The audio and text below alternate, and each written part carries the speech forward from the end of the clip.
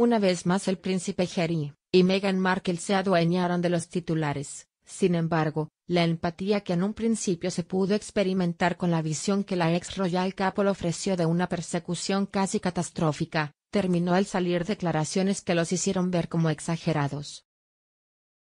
Tras recibir un comunicado en el que el publirelacionista de los duques de Sussex planteó un escenario de grave invasión a la intimidad del príncipe, y la ex actriz en un espacio público, las imágenes de aquel fatídico 31 de agosto de 1997 en el Puente del Alma en París revivieron en el ideario de prensa, público y hasta funcionarios.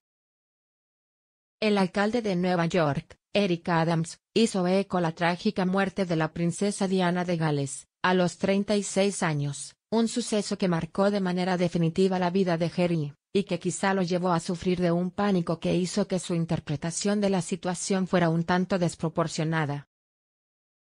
En medio del conflicto del príncipe Harry y Meghan con los principales tabloides de Reino Unido, precisamente por temas de escuchas telefónicas y acoso, la pareja se da cuenta que en su lugar feliz, Estados Unidos, los paparazzi tienen el mismo modus operandi, seguramente un shock para Jerry. El hijo del rey Carlos III se está enfrentando al Ministerio del Interior del Reino Unido que no le permitió pagar seguridad de la policía británica para que lo cuide en Estados Unidos, y ahora pasa esto, situación que lo enfrenta con una agencia fotográfica que ya dio su versión de los hechos. Bakri respondió contundente a lo dicho por los duques de Sussex al exponer que sus paparazzi independientes que siguieron a la pareja el martes por la noche no fueron altamente agresivos y no causaron una colisión cercana. Esto después de que el equipo legal de la pareja les envió una carta. Los abogados de la Royal Couple alegaron que necesitan las imágenes de la agencia sobre la persecución para reforzar su propia seguridad. Por la presente exigimos que Backgrid nos proporcione copias de inmediato de todas las fotos, videos y películas tomadas anoche por los fotógrafos independientes, se lee.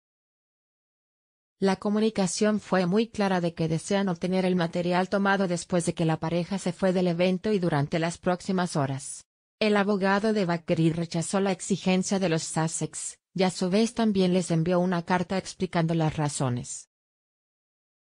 Estados Unidos, como estoy seguro que saben, la propiedad pertenece al dueño de esta, los terceros no pueden simplemente exigir que se les entregue, como tal vez los reyes pueden hacer, se expresa, en un claro comparativo con lo que supuestamente sucede en Reino Unido cuando se compromete a la familia real en algún escándalo.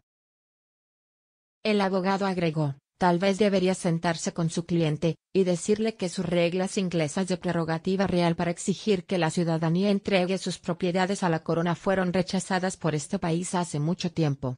Apoyamos a nuestros padres fundadores.